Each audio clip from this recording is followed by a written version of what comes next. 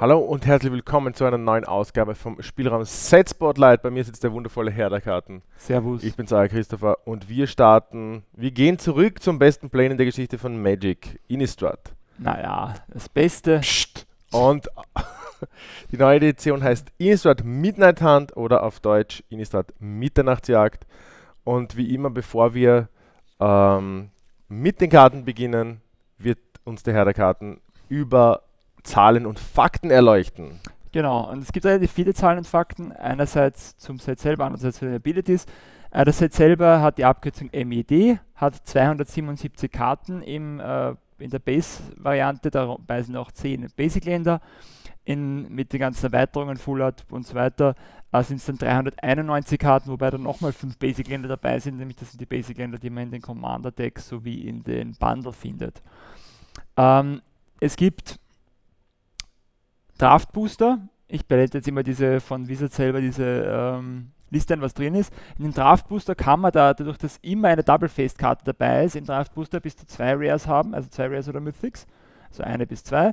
Dann gibt es natürlich wieder äh, Set Booster. In den Set Booster kann man bis zu vier Rares oder Mythics haben, wenn man nämlich, äh, eigentlich bis zu fünf, wenn man nämlich in der Listkarte auch noch eine hat, dann hat man sogar fünf, ansonsten hat man, da, hat man da sicher zwei Double-Faced Rares, also zwei Double-Faced Karten, die Rare Mythic sein können. Und halt eine Foil und halt eben die normale Rare Mythic. Und da gibt es natürlich wiederum die äh, Collector Booster. Und da können es auch, und da sind es halt fix fünf Rares und Mythics, äh, wobei da halt auch wieder die fix die Showcase-Karten und so weiter dabei sind. Was mich zum Thema Showcase bringt, Uh, Showcase gibt es zwei Varianten. Es gibt einerseits das sogenannte Equinox Design. Das habe ich jetzt eingeblendet anhand der Kerzenhainhexe. Uh, das betrifft nämlich lauter Werwölfe und Warlocks, also Werwölfe und äh, Hexenmeister. Uh, deswegen haben die dieses Design mit diesen Bäumen sozusagen drumherum.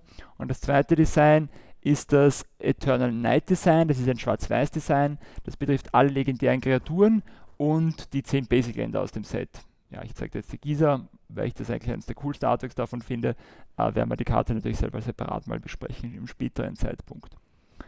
Ähm, dann sind wir, ah ja, noch was auch noch gibt, es gibt zwei Commander-Decks.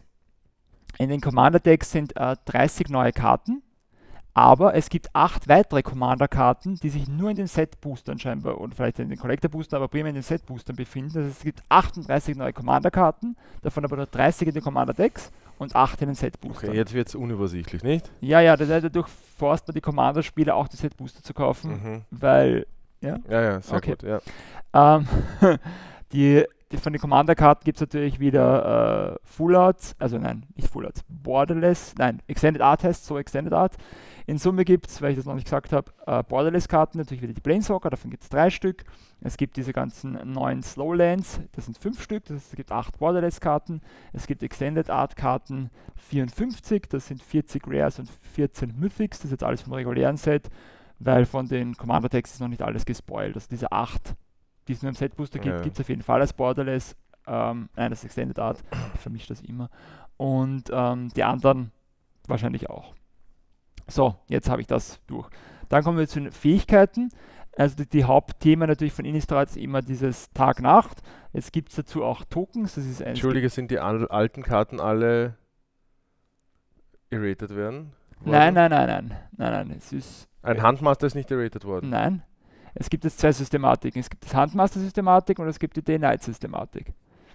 Was zum Beispiel auch heißt, ich meine. Ja, das Day-Night ist ja ein bisschen anders. Genau, das Day-Night ist ein bisschen anders. Also es gibt eben diese zwei Token, Tag und Nacht, die blende ich jetzt beide ein. Da steht ja auch schon drauf, was, was, wie das funktioniert. Grundsätzlich ist es so, wenn das Spiel beginnt, ist es weder Tag noch Nacht. So, das ist mal der, das, das Simple Part. Dann gibt es Karten, die sagen, es wird sagen, Tag oder es wird es Nacht. Die sagen, es wird Tag. Zum Beispiel der Weise des Firmaments. Wenn der ins Spiel kommt und es weder Tag noch Nacht ist, was am Anfang des Spieles ist, dann wird es Tag. Und äh, immer wenn es Tag oder Nacht wird, also wenn ein Wechsel kommt, dann zieht man bei dem eine Karte. Das finde ich relativ cool, ist so mit 4 Mana teuer, aber wenn es halt öfters einen Day-Night-Cycle hast, dann ziehst du eine Menge Karten. Ähm, wenn eine Kreatur ins Spiel kommt, die tagaktiv ist, zum Beispiel der äh, Erntefest-Infiltrator, dann wird es auch Tag. Ja?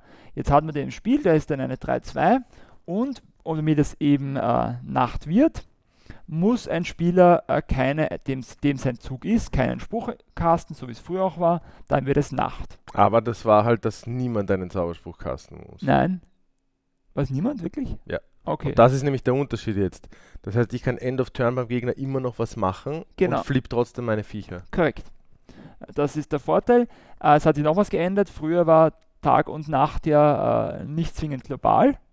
Jetzt ist ein globaler Effekt. Denn, also wenn ich jetzt diese kein Nix gesprochen habe, dann wird es Nacht. Dann wird der Erntefest Infiltrator zum Erntefest Angreifer, weil es ihm Nacht geworden ist, ist dann eine 4-4-Trampel, ganz leibernd. So, jetzt ist es Nacht im Spiel. Wenn jetzt mein Gegner einen Nacht, eine Tag-Nacht-aktive Kreatur spielt, dann kommt sie automatisch als Nacht aktiv ins Spiel. Oh, Das heißt, eben Tag, Nacht ist immer global. Das heißt, wenn es Tag ist, dann ist es für alle Tag. Wenn es Nacht ist, ist es für alle Nacht.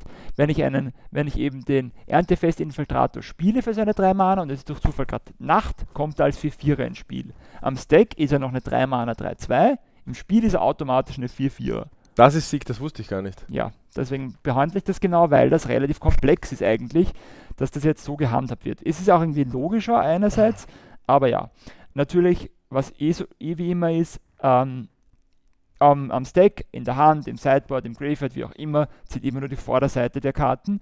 Und auch wenn es um Converted Mana Cost geht, also Mana Valley, wie sie heutzutage heißt, auch am Spiel zählt immer die Vorderseite der Karten. Das heißt, wenn der geflippt ist und er halt steht oben halt keine Mana Kosten, ist er noch immer eine 3 Mana Kreatur, der Erntefest Infiltrator. Oder halt in dem Fall dann der alte Erntefest Angreifer. Ah, das ist cool. Dass die halt wirklich dann schon als die Werwölfe kommen. Finde ich eigentlich sehr cool. Genau. Nacht wird es natürlich, als Tag wird es wieder, wenn man während des Nachts zwei Sprüche spricht, im eigenen Zug, dann wird es wieder Tag. So, Und was ist, wenn eine Kreatur ins Spiel kommt, die sagt, achso, die sagt nur, wenn es weder Tag oder Nacht wird, Genau. ist Tag. Okay. genau, also diese ganzen Kreaturen, die ins Spiel kommen, wenn es weder noch ist, es geht halt nur, solange nichts passiert ist, Mhm. sozusagen. Das ist auch das Nachteil an zum Beispiel an dem, den ich am Anfang gemacht habe, diesen vier Mana-Typen, weil Turn, Turn 4, wann der normalerweise kommt, wird es wahrscheinlich in dem Set schon Tag oder Nacht sein. Das heißt, du Mhm. ziehst nicht sofort eine Karte, sondern du musst auf den nächsten Cycle warten, dass du eine Karte mit ihm ziehst. Ihr müsst sowieso, auch wenn es kommt. Nein, wenn es kommt nicht, weil wenn es kommt, macht er Tag und immer wenn es Ah, Tag ziehst wird, ziehst du eine Karte. Also in 4 Mana, 2, 3 ziehen eine Karte, solange es weder Tag noch Nacht Mhm. ist. Gut, damit kommen wir zur nächsten neuen Fähigkeit und das ist äh, Aufstören oder auf Englisch Disturb. Disturb. Es ist immer Disturb und Kosten, also Aufstören und Kosten. Äh, relativ simpel diese, diese Ability, man kann eine Karte aus dem Friedhof wirken. Äh, ich habe jetzt da das Lunach, Lunachen-Veteranen genommen, weil ich ihn auch relativ gut finde und wir ihn sonst nicht behandeln. Ähm, der ist eine 1 Mana 1-1 und immer wenn eine Kreatur ins Spiel kommt, Eine Soul Sister. eine Soul Sister, genau. Soul Brother. Soul Brother. Und man kann ihn eben, wenn er gestorben ist, für seine Disturb-Kosten aus dem Friedhof casten. Dann kommt er als 1-1 Fliege ins Spiel. Und ähm, immer wenn eine Kreatur, die du kontrollierst, das Spiel verlässt, erhältst du einen Lebenspunkt. Ja. Und wenn er stirbt, dann geht er nicht mehr in den Friedhof, sondern ins Exil. Das haben alle diese Disturb-Karten, dass, wenn sie Damit du sterben, sie nicht immer wieder benutzen genau, damit es halt nicht infinite gehen kann, sozusagen. Ja, im Endeffekt ist das relativ simpel. Du kannst ihn aber flickern und er kommt wieder als der andere Kollege retour. Nicht? Na, weil er geht er weg und dann kommt er wieder. Die F ja, das müsste funktionieren. Ja. Wenn du ihn faced, kommt er so zurück. Also wenn genau, wenn du, facing fährst, aber wenn du ihn flickerst, kommt er als Retour. kommt er auf der anderen Seite theoretisch Retour, ja. Wobei steht, das Spiel verlässt, wenn einer das Spiel verlässt, vom Fried- auf den Friedhof gelegt. Also beim Genau, also du flickerst ihn ja. und kommt wieder als Ja. Soul Brother Retour. Genau. So, dann gibt's, kommen wir zur, zur letzten neuen Fähigkeit und zwar ähm, ist es die Coven oder auf Deutsch der Hexenzirkel. Äh, das ist im Endeffekt eine Ability, die, die sich darum kümmert, ob du drei Kreaturen mit unterschiedlichen Power hast. Und wenn du das hast, dann passiert irgendwas anderes. Also bei dem Spontanzauber, bei dem Ritual der Hoffnung, wenn du das castest, kriegen alle deine Kreaturen plus 1 plus 1, außer du hast den Hexenzirkel, dann kriegen sie plus 2 plus 1. Da wann wird das gecheckt? Bei dem Instant wird das gecheckt, wenn der Instant resolved. Das heißt, du castest ihn, dann kann irgendwas noch passieren, dann ist wurscht, wenn es dann resolved, du hast eben drei unterschiedliche Power, dann passiert das. So, ich erwähne das deswegen so explizit, weil es auch sehr viele Kreaturen gibt, wie den äh, Kerzenschein-Kavallerie, die Kerzenschein-Kavallerie, die eine Triggered Ability hat. Triggered Ability ist, kurze Ausflüge in die Regelkunde, triggern, einmal, dann checkt er das, aha, okay, er triggert jetzt, okay, ich hab, wir haben drei Kreaturen mit unterschiedlicher Power Und dann Und resolved. checkt es nochmal beim Resolven. Das heißt, wenn ich das jetzt, wenn ich das erfülle und dann stirbt eine von meinen drei Kreaturen aus irgendwelchen Gründen oder die Power ändert sich und es hat nicht mehr drei unterschiedliche, dann resolven und es passiert gar nichts. Weil dann passt das, dann wird dieses, dieser Hexenzirkel nicht mehr getriggert. Also funktioniert nicht mehr so, nicht mehr. Ähm, es gibt noch eine dritte Variante von Hexenzirkel, aber ich habe nur eine Karte bis jetzt gesehen, das ist Activated Ability, das sagt, wenn du Hexenzirkel hast, dann kannst du Zahlen, dann passiert was. Ja, wenn du den hast, dann passiert das halt und wenn es nicht hast, kannst du Ja, und der kann auch nicht darauf reagiert werden. Genau, Also da kann, kann- schon reagiert werden. Aber es macht nichts, aber weil es du hast ist es ja, wurscht, weil weil es Teil der Kosten ist, Genau. sozusagen. Das war der Hexenzirkel. Was es auch noch gibt, ist äh, jetzt keine Ability, aber neu in der Form sind äh, Zombie-Kreaturenspielsteine mit Verwesung oder auf äh, Deutsch, auf Englisch Decay. Im Endeffekt sind das äh, zwei Zwerg, also bei den Zombies halt zwei Zwergkreaturen, die nicht blocken können und wenn sie angreifen, man opfern muss. Es gibt auch Karten, die andere Kreaturen Decay geben, aber grundsätzlich sind es diese zwei Zweier-Tokens. Äh, und was es auch wieder gibt, sind äh, Flashback gibt es wieder, aber das ist eine alte Fähigkeit, darum nur so kurz erwähnt. Und jetzt habe ich eh urviel geredet, aber ich bin dafür mit Zahlen und Fakten durch Wir starten mit, und wir können endlich mit Weiß anfangen. mit dem bis dato besten Set 2021. Nicht? Puh. ah, na, äh, Modern Horizons zählt nicht. Okay. Okay, Modern Okay. Horizons zählt nicht. Wir starten gerade mit einer legendären Kreatur, das ist Adeline strahlende Katarerin. Die kostet zwei weiß, ein farblos, ist eine legendäre Kreatur Mensch Ritter, aber die hat einen Namen. Hat Sterndl 4, also Sterndl Angriff, 4 Verteidigung, hat Wachsamkeit. Die Stärke von Adelina ist gleich der Anzahl an Kreaturen, die du kontrollierst. Das heißt, sie kommt normal als 1-4er Vigilance. Immer wenn du angreifst, erzeuge für jeden Gegner einen getappten und angreifenden 1-1 weißen Mensch-Kreaturenspielstein, der jenen Spieler oder einen Planeswalker, den er kontrolliert, angreift. Ja. Ist für mich halt definitiv eine Commander-Karte. Finde ich nicht. Ah. Ich finde, sie ist, sie ist so gewordet, dass sie auch für Commander funktioniert. Ja, aber Ich finde eine 3 Mana, 1-4er ist halt okay. Ja, aber- meine, es ist, aber- wenn es White Weenie gibt, Ich da ist es sagen. interessant. eben, wenn du, wir mal, es gibt White Weenie, dann ist das Turn 3 eine 3-4er, Ja, die angreift und dann zu einer 4-4er wird, wenn du nicht vorher noch was gespielt hast. Ja. Und noch ein Body produziert. Also sie ist- fünf Kreaturen Turn 4 an, das finde ich nicht so schlecht. Sie ist okay. Aber für mich steht halt, durch dieses Wording steht halt für mich dezidiert, das ist mein neuer White Weenie Commander drauf, nicht? Ja, ich finde das, ja, natürlich, es ist ein, aber ich finde es nicht ausschließlich. Ich finde, es ist gut, dass sie das so gemacht haben, weil die Commander-Spieler freuen sich dann sozusagen, aber das ist ja wurscht. Im One-on-One greift es halt einen an und ich mache einen Token, das ist noch immer gut genug. Also ich finde, find die ist durchaus solide für Con Constructed, regulär sozusagen für Standard jetzt. Ich finde es okay. Also ich finde es okay, ich finde es jetzt nicht über drüber, aber es ist okay. Ja, es ist kein Hero of Bladehold oder wie die geheißen? Genau. Aber sie ist nicht so, viel, sie ist nicht so schlecht. Vor allem mit Vierer Hintern stirbt es auch nicht leicht. Das stimmt. Wachsamkeit ist okay. Ja, es ist, es ist overall eine gut designte, faire Karte, die weder schlecht noch richtig gut ist. Ja, ich finde sie schon gut. Richtig gut. Mhm. Dann kommt die einsame Hinterbliebene. Die kostet ein weißes, zwei farblose, 2-1 Mensch Gesinde, wie der Patrick. Wenn eine andere Kreatur, die du kontrollierst, stirbt, transformiere die einsame Hinterbliebene. Und die wird zur furchtlosen Rächerin. Ist dann 3-2.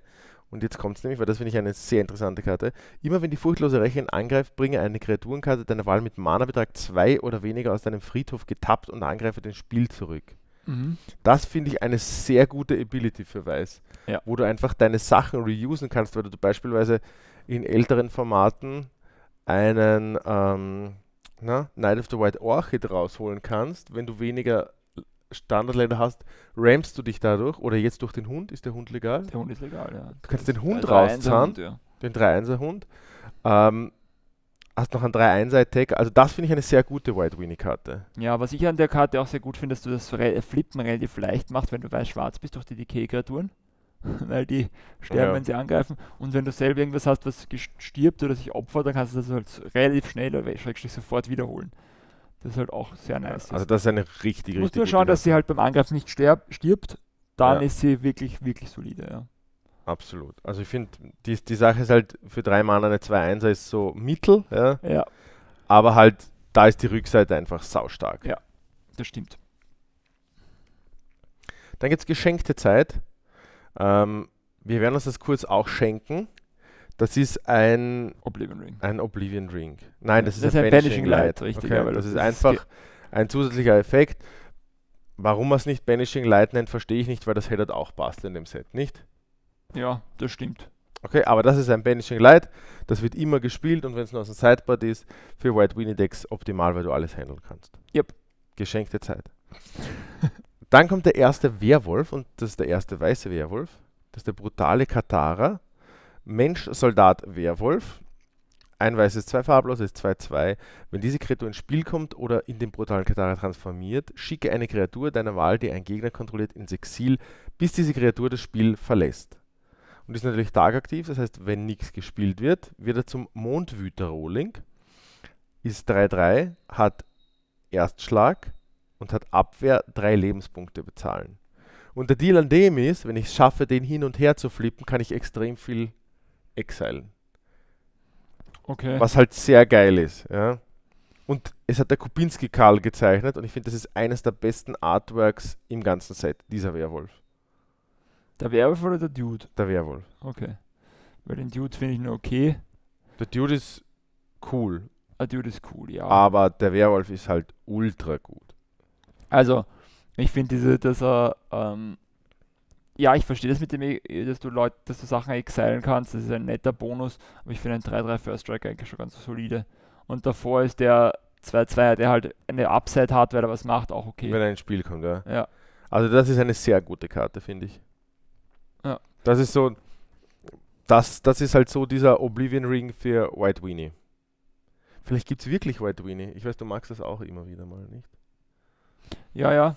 Das Problem ist natürlich, es, es liegt dann alles an ihm sozusagen. Ja, natürlich. Aber die Sache ist, wenn er einmal geflippt ist, ist schon wieder cool. Weil, Ja, weil er recht. halt das Wort hat, nicht? Ja, ja, Mit den drei Lebenspunkten. Und drei Lebenspunkte gegen White Weenie zahlen ist halt auch so mittelgeil. das stimmt, ja. Sehr coole Karte. Bin Mhm. begeistert. Ist sehr früh gespoilert worden. Ich habe gleich von Anfang an gesagt, das ist eine Karte, die Die werde ich auf jeden Fall spielen. Das ist eine weirde Karte. Fluch des Schweigens ist das Aura. Fluch kostet ein weißes, ist ein Enchantment, verzaubert einen Spieler. Sowie der Fluch des Schweigens ins Spiel kommt, bestimme einen Kartennamen. Okay? Zaubersprüche mit dem bestimmten Namen, die der verzauberte Spieler wirkt, kosten und wirken zwei mehr. Immer wenn der verzauberte Spieler einen Zauberspruch mit dem bestimmten Namen wirkt, kannst du den Fluch des Schweigens opfern. Falls du dies tust, ziehe eine Karte. Ja. Okay, das, du, du text ein, eine wichtige Karte vom Gegner Genau. und Und wenn er irgendwann genug Mana hat, dass das Texting egal ist, dann ziehst du wenigstens eine Karte dafür. ja, finde ich eigentlich okay. Ich weiß nicht. Aber ich, Vor allem, du musst es in der Blind sagen, nicht wahr? Du sagst, dass du weißt halt nach dem Sideboarden, keine Ahnung, der spielt urviel Mass Removal und dann sage ich es halt auf das Mass Removal, dass in der Hoffnung, dass mir das die zwei Ja. Turns reichen, um ihn zu töten. sag's, ich sag's auf dem Commander vom Gegner. Das geht auch, ja. Das ist, ich, also ich habe ja die Commander-Applikation hier. Ich will es auf dem Commander vom Gegner Ich wusste gar nicht, dass du ein Commander-Spieler bist. Nein, bin ich auch nicht, aber die Applikation im Kopf, weil ich weiß, wogegen ich spiele, nicht. Das stimmt natürlich, ja. Das ist auch ganz witzig.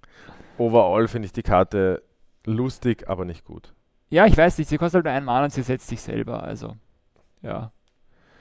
Wo wir zu etwas kommen, das nicht gut ist, nicht? Ah ja. Ausdauernder Engel. Drei weiße, zwei farblose, drei, drei Engel. Fliegen Doppelstark. Du hast Fluchsicherheit. Na bitte. So weit, so gut. Wollte gerade sagen, was prägst du auf? Falls dein Lebenspunktestand auf 0 oder weniger reduziert würde, transformiere stattdessen den ausdauernden Engel und dein Lebenspunktestand wird zu 3. Falls dann der ausdauernde Engel nicht auf diese Weise transformiert wurde, verlierst du die Partie. Und du weißt schon, wenn der Flash hätte, wäre das eine gute Karte, aber so ist das leider Blödsinn. Ähm, transformiert engelhafte Vollstreckerin, fliegend, du hast Fluchsicherheit, Sterndl, Sterndl, Stärke und Widerstandskraft der engelhaften Vollstreckerin sind gleich deinem Lebenspunktestand. Das heißt, ab dem Zeitpunkt, wo das passiert, ist es ein 3-3er geflippt. Immer wenn die engelhafte Vollstreckerin angreift, verdopple deinen Lebenspunktestand. Auf 6. Und diese Karte wäre gut, hätte sie Flash. ja. Aber dadurch, dass sie kein Flash hat, musst du sie blind legen, dann wirst du das Removal fressen und dann wirst du trotzdem sterben. Ja. Mhm. Nicht? Wenn das ein, ein Flash wäre, wie Angel of Grace beispielsweise, der deine Lebenspunkte beschützt, Ja, ja. dann wäre es sehr cool. Ja? Ja. Ich meine, der Dreier Hintern ist halt auch so wirklich das allerletzte. Deswegen sind Vierer Hintern hätte. ja, die Sache ist, sie kann halt, sie kann halt, was sag ich? es ist, es müsste halt einfach diese Karte, das Double Strike müsste halt weg sein, es müsste halt einfach nur Flying, äh, du hast Hexproof haben und mit Flash, dann kommt die rein, es ist dieselbe Karte, transformiert, du wirst zu drei, wenn der Transform nicht stattfindet, dann bist du eh hin, aber wenn es transformiert hast, halt dann 3 3 Ich frage mich die ganze Zeit, wie die Karte transformieren kann, ohne dass Gar nicht, die Ability gar nicht, die passiert. kann nicht transformieren. Weil das- der extra Aufschluss verlierst du die Partie. genau. Weil die ist ja keine Tag-Nacht-aktive Karte, dass die flippt nicht dadurch. Nein, nein, die, die flippt auch nicht. Es geht nur darum, wenn, wenn der Trigger am Stack geht und sie stirbt, dann verlierst du trotzdem.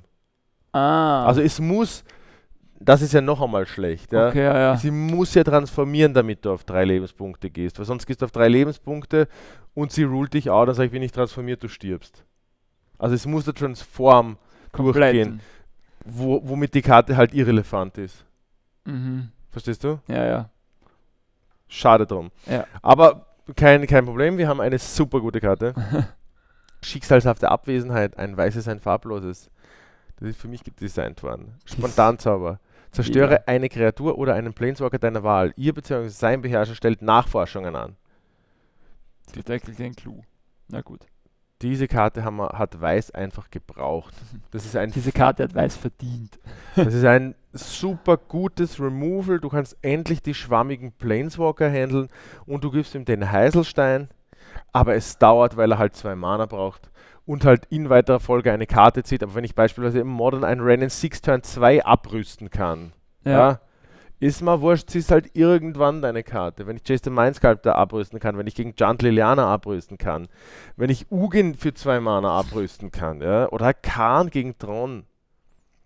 Geile Karte. ja. Eine der besten Karten im Set. finde Spitzen Removal vor allem, weil es halt, ja, es hat eine Downside, natürlich mit dem, mit dem Clue-Token, aber in Aber Summe ist ist, eine- es vollkommen in Ordnung. Es Aber ja das ist zwei eine Mana Bessere. Downside als dem Gegner ein Land geben. Ja. ja, gut, dafür kostet zwei Mana. Ja, ja, aber es ist, Und es ist vor allem ein Instant.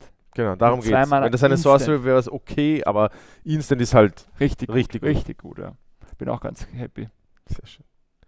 Dann gibt es die Gavendämmerwacht, die kostet zwei Weiße, ein farbloses 3-3, hat Abwehr 1.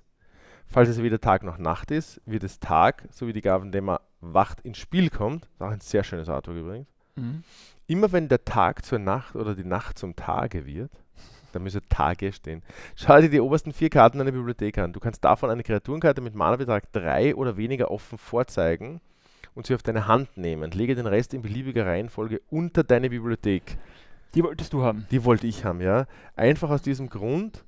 Das ist halt eine richtig gute White Winnie Karte, weil das ist für drei Mana ein 3-3er, den du mal schwer abrüsten kannst, was schon Mhm. gut ist. Und der Deal ist, White Winnie hat einfach das Problem, dass du deine Hand leer spielst und dann passiert nichts. Ja. Aber hier hast du die Möglichkeit, wenn du mal nichts machst, du suchst da was raus, Okay. ziehst was nach, hast dann die Möglichkeit, dass du theoretisch zwei Spells spielst. Mhm. Auf einmal wird es wieder Nacht, du suchst da aber wieder was raus. Ja. Das heißt, du hast durchgehend äh, Futter, dass du was machen kannst. Ja. Genau deshalb ist diese Karte meines Erachtens eine sehr gute Karte. Ja, und vor allem, aber einen gewissen Punkt willst du ja gar nichts mehr aufs Board committen, Nein, nein, weil aber du, du eh vorne bist genau. und nicht den Ultra Blowout riskieren möchtest. aber der Gegner und- muss vielleicht zwei Sachen machen, nicht? und dafür ziehst du halt dann mehr Karten in die Hand, dass, wenn das Removal kommen sollte, du einfach wieder. Und jetzt bin ich wieder da. Geil, oder? Ja, das ist gut. Richtig gute Karte. Ja, ist gut. Die gibt es als FNM-Promo oder irgendwie sowas einmal. Wirklich. Dann gibt es den furchtlosen Widersacher. Und das ist ein Widersacher-Cycle. Ich sage es jetzt schon, die Widersacher sind unendlich gute Karten. Alle fünf. Sind alle gut. Ich habe aber einen persönlichen Favoriten, aber ja, sie sind alle sehr gut. Furchtloser Widersacher ist ein Menschspeer 3-1. Ein weißes, ein farbloses, Lebensverknüpfung. Der ist schon aggressiv gekostet. Ja.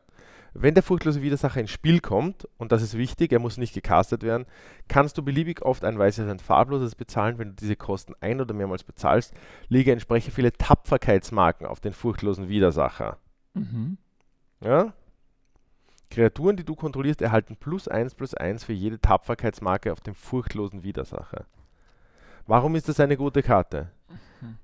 Weil ein Glorious Anthem-Effekt ist auf einer Kreatur, die selber angreifen kann, Und aggressiv gekostet ist. aggressiv ist, die aus dem Friedhof kommen kann. Das heißt, du kannst zum Beispiel mit deinem den Namen vergessen habe, der, wenn er angreift, eine Kreatur zurückholt, holt er den zurück.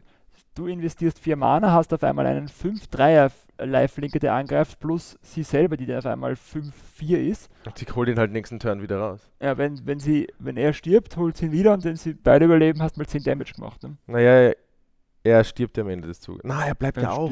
Er bleibt ja auch. Warum soll er sterben? Ja, ja, ja, ja. Und das Gute an ihm ist, er ist Turn 2 auch gut. Weil ein 3-1er Turn 2 mit Lifelink ist auch in Ordnung. Ja, stimmt, aber du wirst Deck. den wahrscheinlich Turn 4 spielen. Nein, aber wollen. wenn du On-Curve spielen willst, Ja, wenn du musst, musst, ja, natürlich. super gute und dadurch, dass er nicht legendär ist oder so, kannst du dir den ersten Turn 2 legen, den zweiten Turn 4 und auch gut ist. Richtig. Ja. So ist es. Dann gibt es eines der schönsten, eines der wieder der, eines der schönsten Artworks. Das ist wirklich ein tolles Artwork. Die Karte ist so, hm, aber das Artwork ist schön. Sigardas Pracht, was gefällt dir nicht? Ein typisches Ja, ja. Holy Angle Blast. Zwei, zwei weiß, zwei farblos, aber genau so soll es sein. Verzauberung. So wie Sigardas Pracht ins Spiel kommt, notiere deinen Lebenspunktestand. Okay, hier ist der Fehler. Du solltest immer deinen fucking Lebenspunktestand notieren. Ich hasse Leute, die sagen, ich habe da, ich hab da Leben verloren, ich habe da Leben bekommen. Sag ich, dann schreib's auf, du Trottel. Wirklich. Kannst du mir das schreiben? Ich, schreib's selber. Ich habe sowieso geschrieben. Schreibt immer euren Lebenspunktestand. Ja, aber da ist wichtig, dass du es zu ihr notierst, nicht auf Ja, ja, ja. ja. Sterne machen, Sigala kamst. Sigi ist da. Sigi ist da. Zu Beginn deines Versorgungssegments ziehst du eine Karte, falls dein Lebenspunktestand größer oder gleich dem letzten Lebenspunktestand ist, den du für Sigadas Pracht notiert hast. Notiere dann deinen Lebenspunktestand, das du immer machen solltest. Okay? Immer wenn du einen oder einen weißen Zauberspruch wirkst, erhältst du einen Lebenspunkt dazu. Ja. Möchtest du zuerst oder möchte ich? Du kannst ruhig. Okay, ich war am Anfang super gehypt von der Karte. Mach, boah, ey, White Card Draw. Aber die Karte ist halt einfach. Die Karte ist vielleicht in einem Oloro Commander Deck Genau, das geil. wollte ich sagen. Ich meine, Oloro Commander habe ich die sofort gespielt. Aber ich, ich glaube nicht, dass. Dass ich in einem Soul Sister Deck diese Karte für vier Mana spielen will, weil es einfach so viele andere Sachen gibt. Ja. Und es gibt in Standard, glaube ich, auch nichts. Weil du investierst vier Mana, es passiert einmal nichts. Ja, Doch, du notierst deinen Lebenspunktestand, aber ansonsten, was du eh schon getan haben solltest. das solltest du schon getan haben. Ne? Ja, nein, also du, du hast recht. Das Problem ist eben, dass 4 Mana kostet. Es macht 4 Mana und dann macht es mal gar nichts. Und das Problem ist, ist, dass im Versorgungssegment triggert, macht es mal wirklich einen kompletten Zyklus nichts. Das heißt, ein Zyklus darf ich den Gegner nicht hauen.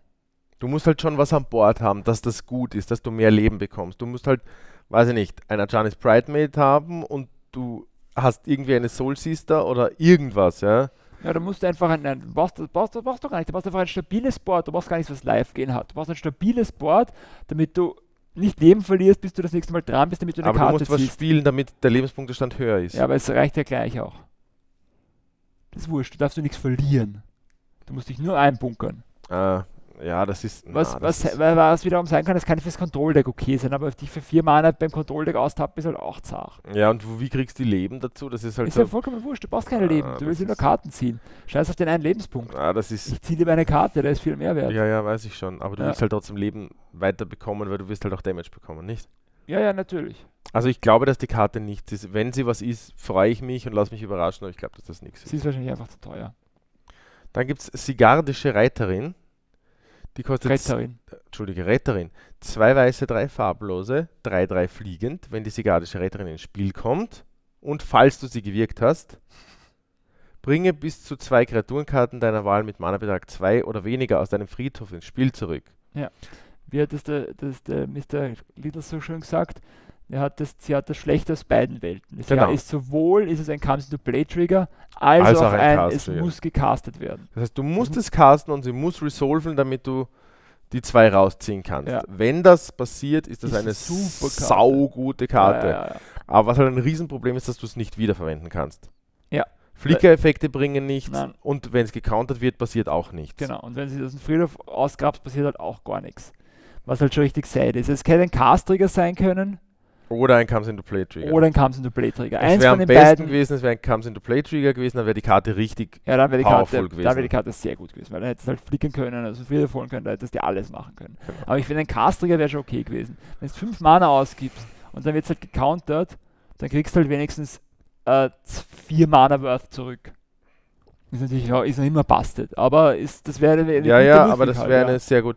So ist es halt, hat es einfach einen faden Nachgeschmack, finde ich. Und finde es ein bisschen schade, dass das alles so genervt ist, nicht? Es ist, es ist der eine Engel super heavy genervt und bei ihr halt auch.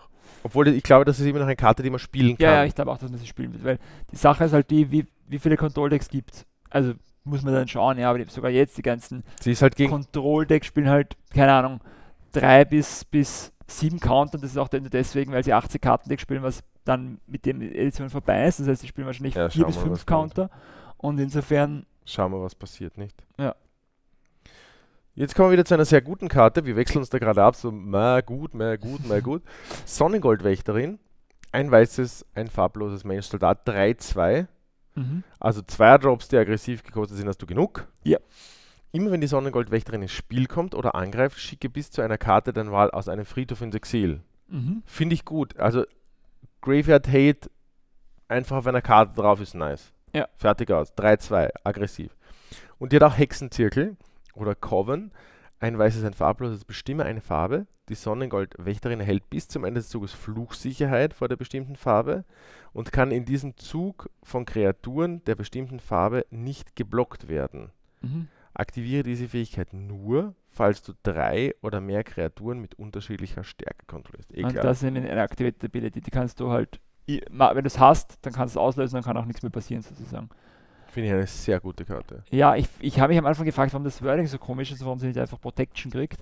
Aber dadurch, dass sie Hexproof und nicht geblockt werden kann, kann das Protection von weit dir praktisch geben und Enchantments drauf sind, fallen nicht Mhm. runter. Was halt schon ziemlich nice ist. Ähm, ja, ich finde die Karte auch sehr gut. Und es gibt mehr Karten mit Activated Abilities, weil ich, ich weiß gerade noch eine.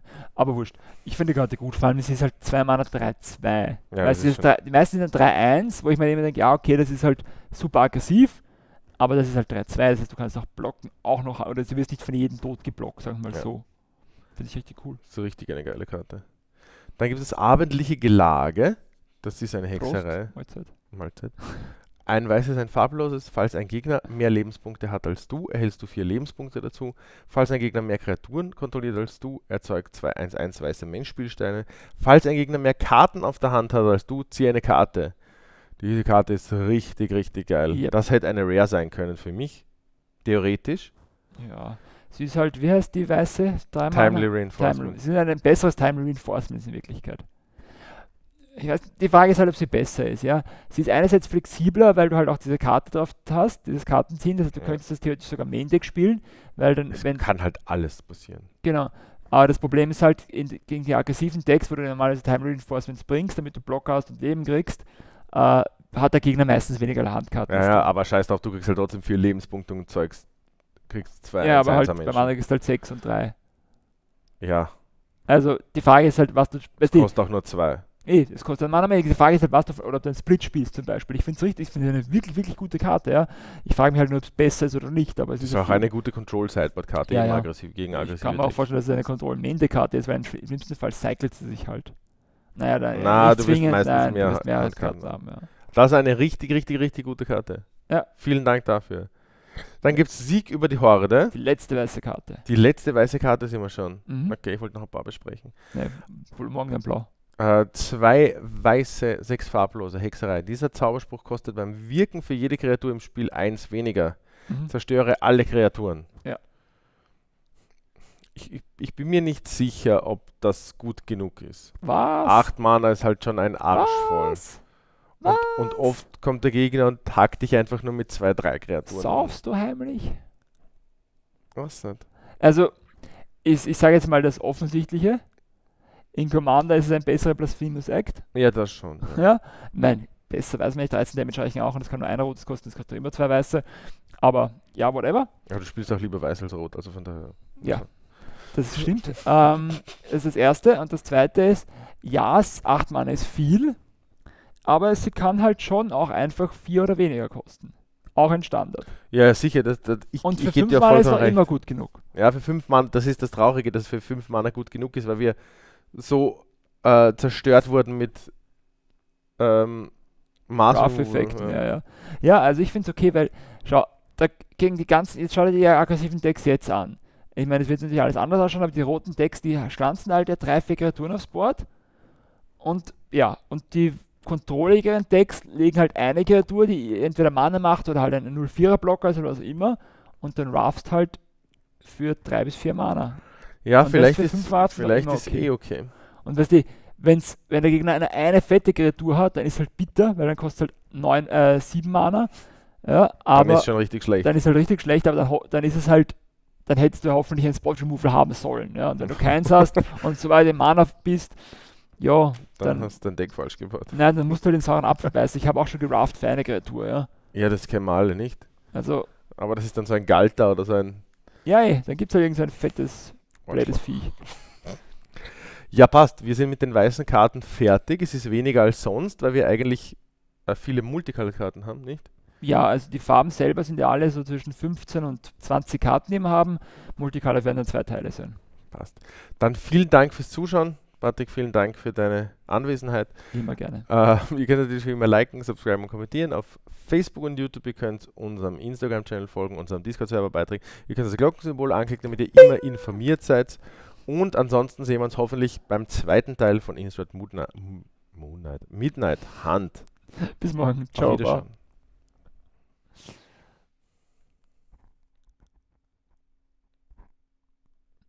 Bei Blau habe ich eine Frage.